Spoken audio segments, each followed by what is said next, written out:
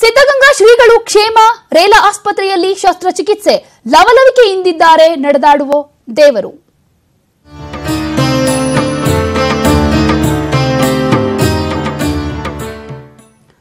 ಸಿದ್ಧಗಂಗಾ ಶ್ರೀಗಳಿಗೆ ಚೆನ್ನೈನಲ್ಲಿ ಆಪರೇಷನ್ ಮಾಡಲಾಗ್ತಾ ಇದೆ. ರೇಲಾ ಆಸ್ಪತ್ರೆಯಲ್ಲಿ ಆಪರೇಷನ್ ಶುರುವಾಗಿದೆ.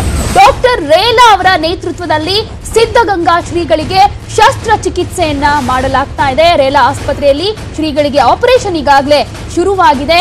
ಡಾಕ್ಟರ್ ರೇಲಾ ಅವರ ನೇತೃತ್ವದಲ್ಲಿ ಶ್ರೀಗಳಿಗೆ ಶಸ್ತ್ರಚಿಕಿತ್ಸೆಯನ್ನ ಮಾಡಲಾಗ್ತಾ ಇದೆ. ಪಿತ್ತಕೋಶ ಸೋಂಕಿನಿಂದ ಶ್ರೀಗಳು ಬಳಲ್ತಾ ಇದ್ರು. ಕೆಲವೇ ಹೊತ್ತಿನಲ್ಲಿ ಆಪರೇಷನ್ ಮುಕ್ತಾಯವಾಗುತ್ತೆ. ಲವಲವಿಕೆಯಿಂದ ಈಗಾಗಲೇ ಶ್ರೀಗಳು ಇದ್ದಾರೆ ಅನ್ನುವಂತ ಮಾಹಿತಿ ಸಿಗ್ತಾ ಇದೆ. ಯಾಕಂದ್ರೆ ಈಗಾಗಲೇ ಸುತ್ತೂರು ಶ್ರೀಗಳು ಅವ್ರ ಜೊತೆ ಮಾತುಕತೆಯನ್ನ ನಡೆಸಿದ್ದಾರೆ. ಶ್ರೀಗಳು ಲವಲವಿಕೆಯಿಂದ ಇದ್ದಾರೆ ಅಂತ ಸುತ್ತೂರು ಶ್ರೀಗಳು ಕೂಡ ಹೇಳಿದ್ದಾರೆ. ಈಗ ಶ್ರೀಗಳಿಗೆ ರೇಲಾ ಆಸ್ಪತ್ರೆಯಲ್ಲಿ ಶಸ್ತ್ರಚಿಕಿತ್ಸೆ ಶುರುವಾಗಿದೆ. ಪಿತ್ತಕೋಶ ಸೋಂಕಿನಿಂದ ಶ್ರೀಗಳು ಬಳಲ್ತಾ ಇದ್ರು. ಡಾಕ್ಟರ್ ರೇಲಾ ಅವರ ನೇತೃತ್ವದಲ್ಲಿ ಶ್ರೀಗಳಿಗೆ ಶಸ್ತ್ರಚಿಕಿತ್ಸೆಯನ್ನ ಮಾಡಲಾಗ್ತಾ ಇದೆ. ಇನ್ನೇನು, ಕೆಲವೇ ಹೊತ್ತಲ್ಲಿ ಆಪರೇಷನ್ ಕೂಡ ಮುಗಿಯುತ್ತೆ. ಲವಲವಿಕೆಯಿಂದ ಇದ್ದಾರೆ ಸಿದ್ಧಗಂಗಾ ಶ್ರೀಗಳು ಅನ್ನುವಂತ ಮಾಹಿತಿ ಸದ್ಯಕ್ಕೆ ಸಿಗ್ತಾ ಇದೆ. ಇನ್ನು ಬೆಳಿಗ್ಗೆ ಲಿಂಗ ಪೂಜೆಯನ್ನ ಮುಗಿಸಿ ಶ್ರೀಗಳು ಆರಾಮವಾಗಿದ್ದಾರೆ. ಯಾಕೆಂದ್ರೆ ಪ್ರತಿನಿತ್ಯವೂ ಕೂಡ ಯಾವುದೇ ಕಾರಣಕ್ಕೂ ಅವರು ಪೂಜಾ ಕೈಂಕರ್ಯವನ್ನ ಮಿಸ್ ಮಾಡ್ಕೊಳ್ಳೋದಿಲ್ಲ. ಎಲ್ಲೇ ಇದ್ರೂ ಪರವಾಗಿಲ್ಲ. ಆಸ್ಪತ್ರೆಯಲ್ಲಿ ಅದಕ್ಕೆಲ್ಲ ವ್ಯವಸ್ಥೆಯನ್ನ ಮಾಡಿಕೊಟ್ಟಿದ್ರು. ಪೂಜೆಯನ್ನ ಮುಗಿಸಿ ಆಗಿತ್ತು. ಈಗ ಅವರನ್ನ ಶಸ್ತ್ರಚಿಕಿತ್ಸೆಗೆ ಒಳಪಡಿಸಲಾಗಿದೆ. ಕೆಲವೇ ಹೊತ್ತಲ್ಲಿ ಶ್ರೀಗಳ ಆಪರೇಷನ್ ಕೂಡ ಮುಗಿಯುತ್ತೆ. ರೇಲಾ ಆಸ್ಪತ್ರೆಯಲ್ಲಿ ರೇಲಾ ಮತ್ತು ಅವರ ಟೀಮ್ ಈಗ ಆಸ್ಪತ್ರೆಯಲ್ಲಿ ಚಿಕಿತ್ಸೆಯನ್ನು ಕೊಡ್ತಾ ಇದ್ದಾರೆ. ಜೊತೆಗೆ ಈಗ ಟ್ರೀಟ್ಮೆಂಟ್ ಏನಂದ್ರೆ ಸದ್ಯಕ್ಕೆ ಶಸ್ತ್ರಚಿಕಿತ್ಸೆ ಆಗ್ತಾ ಇದೆ ಅನ್ನುವಂತ ಮಾಹಿತಿ ಸಿಗ್ತಾ ಇದೆ. ಬೆಳಿಗ್ಗೆ ಪೂಜೆ ಆದ ಮೇಲೂ ಕೂಡ ಶ್ರೀಗಳು ಲವಲವಿಕೆಯಿಂದ ಇದ್ರು. ಸುತ್ತೂರು ಶ್ರೀಗಳು ಅವ್ರ ಜೊತೆ ಮಾತುಕತೆ ನಡೆಸಿದಾಗ ನನ್ನ ಜೊತೆ ಚೆನ್ನಾಗಿ ಮಾತನಾಡಿದ್ರು ಅಂತ ಸುತ್ತೂರು ಶ್ರೀಗಳು ಕೂಡ ಹೇಳಿದ್ದಾರೆ. ಲಿಂಗ ಪೂಜೆ ಮುಗಿಸಿ ಆದ ಮೇಲೆ ಆರಾಮವಾಗಿದ್ದಾರೆ ಶ್ರೀಗಳು. ಈಗ ಸದ್ಯಕ್ಕೆ ಶಸ್ತ್ರಚಿಕಿತ್ಸೆ ನಡೀತಾ ಇದೆ. ಕೆಲವೇ ಹೊತ್ತಲ್ಲಿ ಆಪರೇಷನ್ ಮುಗಿಯುತ್ತೆ. ವೈದ್ಯರೆಲ್ಲ ತಪಾಸಣೆ ಮಾಡ್ತಾ ಇದ್ದಾರೆ. ಅಲ್ಲಿ ಇನ್ನೂ ಅವ್ರಿಗೇನು ಚಿಕಿತ್ಸೆ ಮಾಡಬೇಕು ಅನ್ನೋದನ್ನು ತಪಾಸಣೆ ಮಾಡಿ ಅಗತ್ಯ ಇದ್ದರೆ ಮಾತ್ರ ಮಾಡೋದು ಅಂತ ಹೇಳಿದ್ದಾರೆ. ಆ ತಪಾಸಣೆ ಎಲ್ಲ ಆಗುವವರೆಗೆ ಸಂಜೆ ಅಥವಾ ನಾಳೆ ಮಧ್ಯಾಹ್ನ ತನಕ ಸಾರ್ವಜನಿಕರು ತೊಂದರೆ ಕೊಡೋದು ಬೇಡ ಹಾಗೆ ಅಂತ ಹೇಳಿದ್ದಾರೆ. ಸೊ ಅದಕ್ಕೆ ಯಾರಿಗೂ ಇದುವರೆಗೂ ಸ್ವಾಮೀಜಿ ಎಲ್ಲರೂ ನೋಡ್ತಾ ಇದ್ರು ಅದಕ್ಕೆ ಎಲ್ಲ ನಾವು ಇವಾಗ ಬಂದ್ವಿ. ಅವ್ರು ಆದಮೇಲೆ ಏನು ಮಾಡಬೇಕು ಅಂತ ಇನ್ನೊಂದು ಗಂಟೆನಲ್ಲಿ ಎಕ್ಸಾಮಿನ್ ಮಾಡಿ ಏನು ಪ್ರೊಸೀಜರ್ ಮಾಡಬೇಕು ಅಂತ ಬೆಂಗಳೂರಲ್ಲಿ ಮಾಡ್ದಂಗೆ ಆ ಥರ ಸ್ಪೆಂಟ್ ಅಳವಡಿಸ್ಬೇಕು ಏನು ಬೇಕು ಅಂತ ತೀರ್ಮಾನ ಮಾಡಿ ಆಮೇಲೆ ಗೊತ್ತಾಗುತ್ತೆ. ಇಲ್ಲ ಸರ್ಜರಿ ಬಗ್ಗೆ ತೀರ್ಮಾನ ತಗೊಂಡಿದ್ದಾರೆ ಅನ್ನುವಂತಹ ಒಂದು ಕಾರಣ ಅಲ್ಲಿ ಎಂಡೋಸ್ಕೋಪಿ ಅದು ಏನು ಅಂತ ಗೊತ್ತಾಗುತ್ತೆ ಟೆಕ್ನಿಕಲಿ ಏನು ಮಾಡ್ತಾರೆ ಅಂತ ಗೊತ್ತಿಲ್ಲ. ಎಲ್ಲ ಟೆಸ್ಟ್ ಮಾಡ್ತಾ ಇದ್ದಾರೆ. ಏನು ಅಗತ್ಯ ಇದೆ ಅದು ಮಾಡ್ತಾರೆ. ಎಂಡೋಸ್ಕೋಪಿ ಮಾಡಿ. ಆಪರೇಷನ್ ಥಿಯೇಟರ್ಗೆ ಏನೋ ಕರ್ಕೊಂಡು ಹೋಗಿದ್ದಾರೆ ಟೆಸ್ಟ್ ಮಾಡ್ಬೇಕು ಎಂಡೋಸ್ಕೋಪಿ ಮಾಡ್ಬೇಕು ಮಾಡಲೇಬೇಕಲ್ಲ ಆಪರೇಷನ್ ಥಿಯೇಟರ್ ಒಟ್ಟಿಗೆ ಹೋಗಲ್ಲ ಅದು. ಎಂಡೋಸ್ಕೋಪಿ ಥಿಯೇಟ್ರ್ ಇರ್ತದೆ. ಮಿನಿ ಥಿಯೇಟ್ರ್ ಇರ್ತಲ್ಲ ಎಂಡೋಸ್ಕೋಪಿ ಒಟ್ಟಿಗೆ ಇರುತ್ತಲ್ಲ.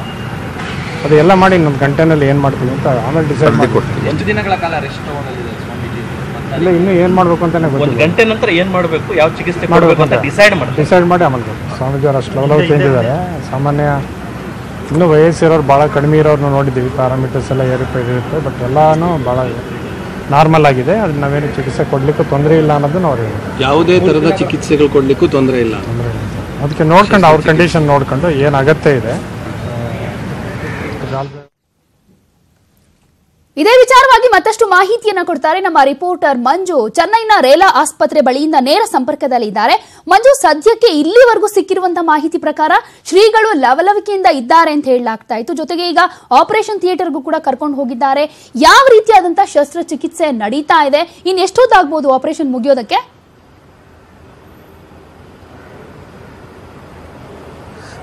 ಪ್ರತಿಮಾ ಈ ಆಪರೇಷನ್ ಇನ್ನು ಒಂದು ಎರಡು ತಾಸಿನಲ್ಲಿ ಮುಕ್ತಾಯ ಆಗುವಂತ ಎಲ್ಲ ಸಾಧ್ಯತೆಗಳು ಇದೆ ಅನ್ನುವಂಥದ್ದು ಆಸ್ಪತ್ರೆ ಮೂಲಗಳು ಹೇಳ್ತಾ ಇರುವಂಥದ್ದು. ಇದರ ಜೊತೆಯಲ್ಲಿ ಏನಂತ ಅಂದ್ರೆ ಅವರನ್ನ ಬೆಳಿಗ್ಗೆ ವಿಚ ಅಂದ್ರೆ ಹಿರಿಯ ಶ್ರೀಗಳು ಮತ್ತೆ ಕಿರಿಯ ಶ್ರೀಗಳ ಭೇಟಿಯ ಸಂದರ್ಭದಲ್ಲಿ ಕೂಡ ಇದನ್ನ ಹೇಳಿದ್ದಾರೆ. ಮತ್ತೆ ಸುತ್ತೂರು ಶ್ರೀಗಳು ಬಂದಾಗ ಮತ್ತೆ ಸಿದ್ಧಗಂಗಾ ಮಠದ ಕಿರಿಯ ಶ್ರೀಗಳು ಮತ್ತೆ ವೈದ್ಯರು ಕೂಡ ಮೂರೂ ಜನ ಕೂತು ಒಂದು ಚರ್ಚೆಯನ್ನ ಮಾಡಿದ್ರು. ನಿಮಗೆ ಯಾವುದು ಅಂತಿಮವೋ ಅದನ್ನೇ ಮಾಡಿ ಅನ್ನೋವಂಥದ್ದು ಕೂಡ ಇಬ್ಬರು ಶ್ರೀಗಳು ಅಂದ್ರೆ ಸುತ್ತೂರು ಶ್ರೀ ಕಿರಿಯ ಶ್ರೀಗಳು ಕೂಡ ಒಂದು ಸಲಹೆಯನ್ನ ವೈದ್ಯರಿಗೆ ನೀಡಿದ್ರು. ಕೊನೆಯ ಹಂತದಲ್ಲಿ ಡಾಕ್ಟರ್ ಮೊಹಮ್ಮದ್ ರೇಲಾ ಅವರು ಇದರ ಶಸ್ತ್ರಚಿಕಿತ್ಸೆಗೆ ಮರೆ ಹೋದ್ರು. ಸೊ ಶಸ್ತ್ರಚಿಕಿತ್ಸೆ ಮಾಡಿ ಇದಕ್ಕೆ ಒಂದು ಏನು ಪಿತ್ತಕೋಶದ ಸಮಸ್ಯೆಗೆ ಒಂದು ಶಾಶ್ವತ ಒಂದು ಪರಿಹಾರ. ಅಂದ್ರೆ ಪದೇ ಪದೇ ಸಮಸ್ಯೆಗಳು ಉಲ್ಬಣಿಸೋದು ಬೇಡ ಅಥವಾ ಸಮಸ್ಯೆಗಳು ಪದೇ ಪದೇ ಕಾಣಿಸ್ಕೊಳ್ಳೋದು ಬೇಡ ಅನ್ನುವಂತ ನಿಟ್ಟಿನಲ್ಲಿ ತೀರ್ಮಾನ ಮಾಡಿ ಶಸ್ತ್ರಚಿಕಿತ್ಸೆಯನ್ನ ಮಾಡ್ತಾ ಇದ್ದಾರೆ. ಇದು ಒಂದು ಎರಡು ತಾಸು ಹಿಡಿಯಬಹುದು ಅಂತ ಹೇಳಲಾಗ್ತಾ ಇದೆ. ಅಂದರೆ ಅಂದ್ರೆ ಈ ಸಂದರ್ಭದ ಎಲ್ಲ ಪೂರ್ತಿ ಪ್ರೊಸೀಜರ್ ಮುಗಿಯುವಷ್ಟೊತ್ತಿಗೆ ಒಂದು ಎರಡು ತಾಸು ಆಗುತ್ತೆ ಅನ್ನುವಂಥದ್ದು. ಅನ್ನುವಂಥದ್ದು ಸೊ ಬೆಳಿಗ್ಗೆ ಕೂಡ, ಅಂದ್ರೆ ಈವನ್ ಓ ಟಿ ರೂಮ್ಗೆ ಹೋಗುವಂತ ಸಂದರ್ಭದಲ್ಲೂ ಕೂಡ ಶ್ರೀಗಳು ಬಹಳ ಗೆಲುವಾಗಿ ಇದ್ರು ಮತ್ತೆ ಆರೋಗ್ಯವಾಗಿದ್ರು. ಸೊ ಯಾವುದೇ ಅವರಿಗೆ ಸಮಸ್ಯೆ ಇಲ್ಲ ಅಥವಾ ಯಾವುದೇ ಬಿ ಪಿ ಶುಗರ್ ಈ ಫ್ಲಕ್ಚುಯೇಷನ್ಸ್ ಆಗಲಿ ಯಾವುದೇ ರೀತಿಯಾದಂಥ ಸಮಸ್ಯೆ ಇಲ್ಲ. ಹಾಗಾಗಿ ಈ ನಿರ್ಧಾರಕ್ಕೆ ಅಂದ್ರೆ ಶಸ್ತ್ರಚಿಕಿತ್ಸೆ ಮಾಡುವಂತ ನಿರ್ಧಾರಕ್ಕೆ ಬಂದಿದ್ದಾರೆ ಅನ್ನುವಂಥದ್ದು ಕೂಡ ಹೇಳಲಾಗ್ತಾ ಇದೆ. ಪ್ರತಿಮಾ. ಹಾಗೇನೆ ಮಂಜು, ಈಗ ಈ ಹಿಂದೆ ಅಂದ್ರೆ ಶ್ರೀಗಳಿಗೆ ಸ್ಟಂಟ್ ಅಳವಡಿಕೆ ಆದಂತ ಸಂದರ್ಭದಲ್ಲಿ ಅದು ಸೋಂಕಾಗಿತ್ತು. ಅದರಿಂದ ಮತ್ತೆ ಜ್ವರ ಬಂದು ಶ್ರೀಗಳ ಆರೋಗ್ಯದಲ್ಲಿ ಸ್ವಲ್ಪ ಏರುಪೇರಾಗಿತ್ತು ಅನ್ನೋದು. ಸೊ ಇದಕ್ಕೆ ಸಂಬಂಧಪಟ್ಟ ಹಾಗೆ ಕೆಲವು ಕ್ಷಣಗಳ ಹಿಂದೆ ಒಂದು ನಿರ್ಧಾರಕ್ಕೆ ಬಂದಿದ್ದಾರೆ ರೇಲಾ ಆಸ್ಪತ್ರೆಯಲ್ಲಿ ವೈದ್ಯರ ತಂಡ ಅಂತ ಹೇಳಿದ್ರಿ. ಯಾವ ರೀತಿ ಚಿಂತನೆ ಮಾಡಿದ್ರು?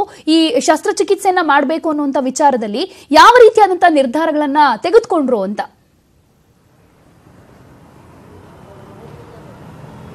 ಪ್ರತಿಮಾ ನಿನ್- ನಿನ್ನೆ ವೈದ್ಯರು, ಅಂದ್ರೆ ಮಾಧ್ಯಮಗಳ ಜೊತೆ ಮಾತಾಡ್ತಾ ಮೂರು ಆಪ್ಷನ್ಗಳಿದೆ. ಅಂದ್ರೆ ಈ ಸಮಸ್ಯೆಯನ್ನ, ಈ ಸಮಸ್ಯೆಯನ್ನು ಕೊನೆಗಾಣಿಸಬೇಕಾದ್ರೆ ಅದಕ್ಕೆ ಪರಿಹಾರವನ್ನು ಸೂಚಿಸಬೇಕಾದ್ರೆ ಮೂರು ತರದ, ಮೂರು ವಿಧದ ಚಿಕಿತ್ಸೆ ನಮಗೆ ಇದೆ. ಕೊನೆಯದಾಗಿ ಶಸ್ತ್ರಚಿಕಿತ್ಸೆ ಅನ್ನುವಂಥದ್ದನ್ನ ಹೇಳಿದ್ರು. ಅಂದ್ರೆ ಸಿದ್ಧಗ ನಾವು ಹಿರಿಯ ಶ್ರೀಗಳ ಆಪ್ತ ವೈದ್ಯರು ಪರಮೇಶ್ ಅವರು ಕೂಡ ಅವರು ಮಾಧ್ಯಮಗಳ ಜೊತೆ ಮಾತನಾಡಿ ಕೂಡ ಹೇಳ್ತಾ ಇದ್ರು. ಸೊ, ಒಂದು ಅಲ್ಟ್ರಾಸೌಂಡ್, ಆ ವಿಧಾನವನ್ನ ಬಳಸಿ ಮಾಡುವಂಥದ್ದು. ಎರಡನೇದು ಎಂಡೋಸ್ಕೋಪಿ ಮುಖಾಂತರ ಅದನ್ನ ಸರಿಪಡಿಸುವಂಥದ್ದು. ಮೂರನೇದು ಅಂತಿಮವಾಗಿ ಶಸ್ತ್ರಚಿಕಿತ್ಸೆ ಅಂತ ಹೇಳಿದ್ರು. ಸೊ ಆ ಎರಡೂ ಆಪ್ಷನ್ ಇಲ್ಲ ಅಂದ್ರೆ ಶಸ್ತ್ರಚಿಕಿತ್ಸೆ ಮಾಡ್ತಾರೆ ಅಂದ್ರೆ ಆ ಎರಡರಿಂದನೂ ಕೂಡ ಇದು ಸಾಧ್ಯ ಆಗಲ್ಲ ಅನ್ನೋದೇನಾದ್ರೂ ಕಂಡು ಬಂದ್ರೆ ಶಸ್ತ್ರಚಿಕಿತ್ಸೆಗೆ ಮರ ಹೋಗ್ತಾರೆ ಅನ್ನುವಂಥದ್ದು ಹೇಳಲಾಗಿತ್ತು. ಸೊ ಇವತ್ತು ಬೆಳಿಗ್ಗೆ ಅದೇ ರೀತಿಯ ಅಂದ್ರೆ ಬೆಳಿಗ್ಗಿನ ಎಲ್ಲಾ ರೀತಿಯ ಅವರ ಬ್ಲಡ್ ಚೆಕ್ಅಪ್ಸ್ ಇರ್ಬೋದು ಅಥವಾ ಬೇರೆ ಬೇರೆ ವಿವಿಧ ಪರೀಕ್ಷೆಗಳನ್ನು ಮಾಡಿದ ಸಂದರ್ಭದಲ್ಲಿ ಫೈನಲಿ ಓಕೆ ಇದಕ್ಕೆ ಒಂದು ಶಾಶ್ವತ ಪರಿಹಾರ ಹೇಳೋಣ ಅನ್ನುವಂಥ ನಿಟ್ಟಿನಲ್ಲಿ ಶಸ್ತ್ರಚಿಕಿತ್ಸೆಗೆ ಹೊರೆ ಹೋದ್ರು ಪ್ರತಿಮಾ. ಓಕೆ, ಮಂಜು, ಈಗ ಸಿದ್ಧಗಂಗಾ ಕಿರಿಯ ಶ್ರೀಗಳು ಕೂಡ ಮಾತನಾಡ್ತಾ ಹೇಳ್ತಾ ಇದ್ರು, ಸುತ್ತೂರು ಶ್ರೀಗಳು ಹೇಳ್ತಾ ಇದ್ರು. ಲವಲವಿಕೆಯಿಂದ ಇದ್ದಾರೆ, ಎಲ್ಲಾ ರೀತಿಯಾದಂತ ಟೆಸ್ಟ್ ಮಾಡಿದ್ದಾರೆ, ನಾರ್ಮಲ್ ಬಂದಿದೆ ಎಲ್ಲವೂ ಕೂಡ ಅಂತ ಹೇಳಿದ್ರು. ಜೊತೆಗೆ ಒಂದ್ ರೀತಿ ಬಹಳ ಕೇರ್ಫುಲ್ ಆಗಿ ರಿಸ್ಕ್ ಜವಾಬ್ದಾರಿ ಕೂಡ ಆಗಿರುತ್ತೆ ಇದು. ಯಾಕೆಂದ್ರೆ ಶಸ್ತ್ರಚಿಕಿತ್ಸೆ ಮಾಡಬೇಕಾ ಈ ವಯಸ್ಸಲ್ಲಿ ಬೇಡವಾ ಅನ್ನೋದ್ರ ಬಗ್ಗೆ ತುಂಬಾ ಗೊಂದಲಗಳು ಇದ್ವು. ಸೊ ಇದನ್ನ ಯಾವ ರೀತಿಯಾಗಿ ನಿರ್ಧಾರ ಮಾಡಿದ್ರು? ಏನೆಲ್ಲ ಚಾಲೆಂಜಸ್ ಇದೆ ವೈದ್ಯರಿಗೆ ಇಲ್ಲಿ ಅಂತ? ಇಲ್ಲಿ ಪ್ರಮುಖವಾಗಿ ಅಂದ್ರೆ ಶತಾಯುಷಿ ಶ್ರೀಗಳಿಗೆ ಒಂದು ಆಪರೇಷನ್ ಮಾಡ್ತಾರೆ ಅನ್ನೋದೇ ದೊಡ್ಡ ಸವಾಲು.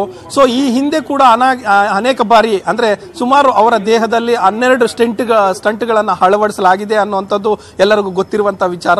ಮತ್ತೆ ಬಿ ಜಿ ಎಸ್ ಆಸ್ಪತ್ರೆಯಲ್ಲಿ ಹತ್ತಾರು ಬಾರಿ ಅವರು ಚಿಕಿತ್ಸೆಯನ್ನು ಕೂಡ ಪಡೆದಿದ್ದರು ಸೊ ಅಲ್ಲೂ ಕೂಡ ಹೇಳಿದರು ಈ ತರದ ಅವಶ್ಯಕತೆ ಇದೆ ಅನ್ನುವಂಥದ್ದು ಅಲ್ಲಿ ಓರಲ್ ಆಗಿ ವೈದ್ಯರೆಲ್ಲ ಚರ್ಚೆ ಮಾಡುವಂಥ ಸಂದರ್ಭದಲ್ಲಿ ಬಂದಿತ್ತು. ಸೊ ಹಾಗಾಗಿಯೇ ಅಂದ್ರೆ ಸ್ಟಂಟ್ ಪುನಃ ಹಾಕೋದಾದರೆ ಅಥವಾ ಎಂಡೋಸ್ಕೋಪಿ ಮಾಡೋದಾದರೆ ಅಥವಾ ಅಲ್ಟ್ರಾಸೌಂಡ್ ಆ ವಿಧಾನದ ಮೂಲಕ ಚಿಕಿತ್ಸೆ ನೀಡೋದೇ ಆಗಿದ್ರೆ ಸೊ ಅಲ್ಲೇ ನೀಡ್ಬೋದಾಗಿತ್ತು. ಆದರೆ ಫೈನಲಿ ಇಲ್ಲಿಗೆ ಯಾಕೆ ಕರ್ಕೊಂಡ್ಬಂದರು ಅಂದರೆ ಶಸ್ತ್ರಚಿಕಿತ್ಸೆ ಮಾಡಲಿಕ್ಕೆ ಅನ್ನುವಂಥದ್ದು ಕೂಡ ಒಂದು ಮಾಹಿತಿ ಅಂತ ಮಾಹಿತಿಗಳು ಹೊರಗಡೆ ಬೀಳ್ತಾ ಇರುವಂಥದ್ದು. ಸೊ ಶಸ್ತ್ರಚಿಕಿತ್ಸೆಯನ್ನು ಇಲ್ಲಿ ಮಾಡೋದ್ರಲ್ಲಿ ಈ ಒಂದು ಆಸ್ಪತ್ರೆ ಇದೆಯಲ್ಲ, ಇದರಲ್ಲಿ ಬಹಳ ಅಂತಾರಾಷ್ಟ್ರೀಯ ಮಟ್ಟದ ಪ್ರಾವೀಣ್ಯತೆಯನ್ನು ಹೊಂದಿರುವಂಥ ವೈದ್ಯರು ಇದ್ದಾರೆ ಅನ್ನುವಂಥದ್ದು. ಅದರಲ್ಲಿ ಈ ಈ ಆಸ್ಪತ್ರೆಯ ಈ ಹಿರಿಯ ವೈದ್ಯರು ಮತ್ತು ಈ ಆಸ್ಪತ್ರೆ ಮುಖ್ಯಸ್ಥರಾಗಿರುವಂಥ ಮೊಹಮ್ಮದ್ ರೇಲಾ ಅವರು ತುಂಬ ವಿಶ್ವಮಟ್ಟದಲ್ಲಿ ಅವರು ಖ್ಯಾತಿ ಗಳಿಸಿದ್ದಾರೆ. ಇಂಥದ್ದೇ ಚಾಲೆಂಜಿಂಗ್ ಶಸ್ತ್ರಚಿಕಿತ್ಸೆಗಳನ್ನು ಮಾಡಿಯೇ ಅವರು ಹೆಸರು ಪಡೆದಂಥವರು. ಅನೇಕ ಬಾರಿ ಲಂಡ್ ಆ, ಐದು ವರ್- ಐದು ದಿನಗಳ ಮಗುಗೆ ಕೂಡ ಶಸ್ತ್ರಚಿಕಿತ್ಸೆ ಮಾಡಿ ಅವರು ಯಶಸ್ಸನ್ನು ಗಳಿಸಿದ್ದಾರೆ ಅನ್ನುವಂಥದ್ದು ಈ ಆಸ್ಪತ್ರೆಗೆ ಇರುವಂತಹ ಒಂದು ಖ್ಯಾತಿ. ಸೊ ಹಾಗಾಗಿಯೇ ಇಲ್ಲಿಗೆ ಕರ್ಕೊಂಡ್ಬಂದು ಚಿಕಿತ್ಸೆಯನ್ನು ಕೊಡಿಸ್ತಾ ಇದ್ದಾರೆ ಮತ್ತೆ ಶಸ್ತ್ರಚಿಕಿತ್ಸೆಯನ್ನು ಮಾಡಿಸಲಾಗ್ತಾ ಇದೆ. ಪ್ರತಿಮಾ. ಓಕೆ ಧನ್ಯವಾದ ಮಂಜು ತಮ್ಮೆಲ್ಲ ಮಾಹಿತಿಗೆ.